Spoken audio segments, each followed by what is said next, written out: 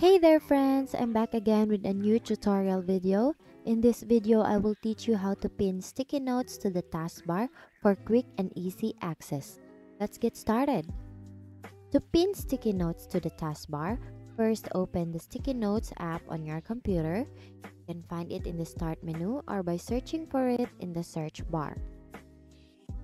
Once the app is open, right-click on the sticky notes icon in the taskbar. A menu will pop up and you'll see an option that says Pin to Taskbar. Click on it.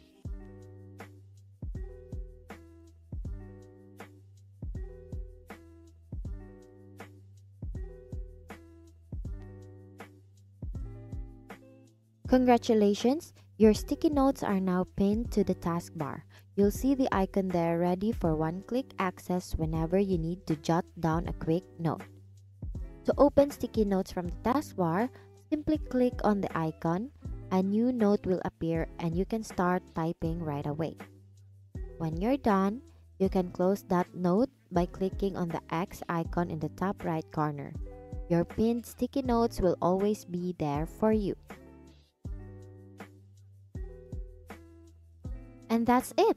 You now know how to pin sticky notes to the taskbar. It's a super convenient way to have a quick access to your notes whenever you're working on your computer. Thank you for learning with me today. Once again, thank you for watching this tutorial on how to pin sticky notes to the taskbar. Stay organized and efficient with this handy tip. Keep those important thoughts just a click away. See you on my next video.